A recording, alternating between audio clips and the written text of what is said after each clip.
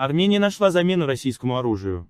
DNA Индия, Армения задумалась об индийских вооружениях, БЛА и радарах. Война в Карабахе заставила нас переосмыслить потребности в обороне, сказал армянский чиновник, пожелавший остаться неназванным, передает АЗ. Эйзи, Армения заинтересована в индийских вооружениях. Как пишет DNA Индия, в ходе недавнего визита военной делегации Армении в Индию был представлен список вооружений, в приобретении которых заинтересована армянская сторона. Хотя, Хотя мало что известно о его содержании, было подтверждено, что дроны занимали видное место в списке. Но не только беспилотники, подтвердил чиновник, не вдаваясь в подробности, пишет издание. Отмечается, что Армения не впервые проявляет интерес к индийской военной технике. В 2020 году страна заключила сделку с Индией на сумму 40 миллионов долларов на поставку четырех радаров в Свате для обнаружения местоположения оружия. С тех пор оборонные потребности Армении выросли в геометрической прогрессии. Война в Карабахе заставила нас переосмыслить потребности в обороне, сказал армянский чиновник, пожелавший остаться неназванным. Вместе с обороной,